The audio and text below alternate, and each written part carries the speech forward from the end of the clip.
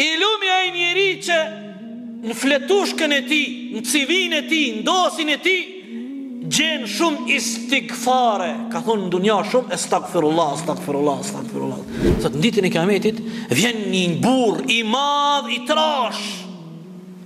para peshores. La yazinu inda Allahi janahu ba'udah. Ai nuk ai nuk peshon, nuk ka vlerë te Allahu as sa krahu i mickojës.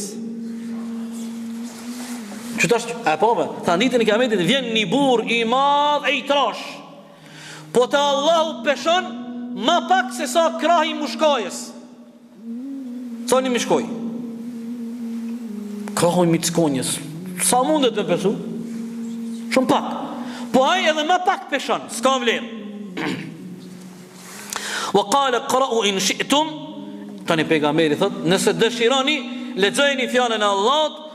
Fela nuqimu lahum yawm al-qiyamati wazna.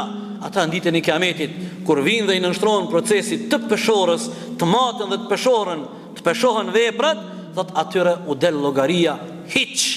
Zero. Pastaj pejgamberi sallallahu alaihi wasallam ka përmendur edhe hadithe tjera, thotë Dëgjoni këtë hadith të bukur përballë këtij hadithit që dëgjuat.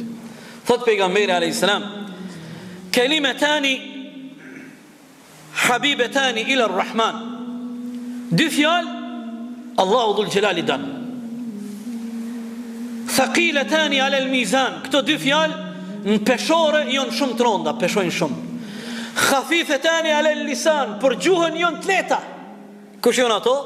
Subhanallahi wa bihamdihi, Subhanallahil Azim. Shiqoni sa bukur ka thonë. Thotë dy fjalë Allahu i don.